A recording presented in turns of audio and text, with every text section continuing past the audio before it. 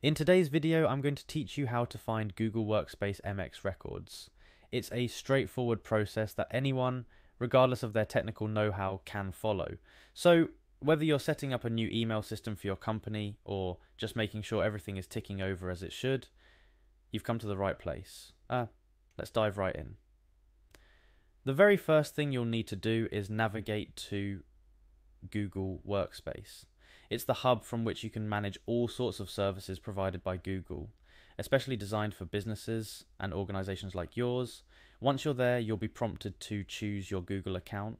This is an important step because the Google account you select will determine what privileges you have over the services and settings you can access and modify. Make sure you choose the account that has been granted administrative privileges. After selecting your Google account, you'll need to enter your password. Security is key, after all, and Google wants to ensure that it's really you trying to access these settings. Type in your password carefully and double check if you need to. Next, you'll see a button labeled Next. Click on this to proceed. It's just Google's way of walking you through the process, one step at a time, ensuring nothing gets missed along the way. Once you're past the login stage, your next stop is the apps section. You can find this by either navigating through the Google Workspace dashboard or you can use this direct link, include link here. Remember, links and the specific navigation might change over time, so always be on the lookout for Google's layout updates. Now you're going to click on Google Workspace.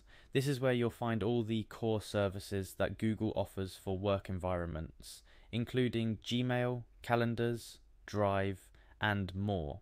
It's essentially the backbone of your Google Workspace experience. After clicking on Google Workspace, the next service you're going for is Gmail. Even though it's popularly known for individual use, Gmail under Google Workspace is supercharged for business needs, offering a slew of additional functionalities. Once in the Gmail settings, look for the Setup option. This is where Google has tucked away most of the configurations you'll need to fine tune your email services, including what we're here for today the MX records. Finally, click on MX records.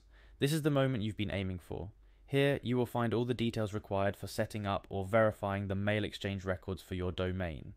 MX records are crucial because they direct your email traffic. Having the correct MX records is paramount to ensuring your email system functions smoothly without a hitch, and that's it. You've successfully navigated through Google Workspace to find the MX records for your domain. Remember, while this process might seem daunting at first, Google has designed its interface to be as user friendly as possible. And with this guide, you should feel confident navigating through Google Workspace and handling one of the most critical parts of your email setup. If you ever find yourself stuck, or if Google updates its interface, don't hesitate to revisit these steps or look for updated guides, Email setup and maintenance are ongoing tasks, and staying informed is the key to a smooth, uninterrupted service. Thank you for following along, and I hope this video has been helpful. Setting up and maintaining your email system is crucial for any business, and knowing how to access and verify your MX records is a big part of that. Remember, every step you take towards understanding these processes is a step towards a more efficient and reliable email system for your organization.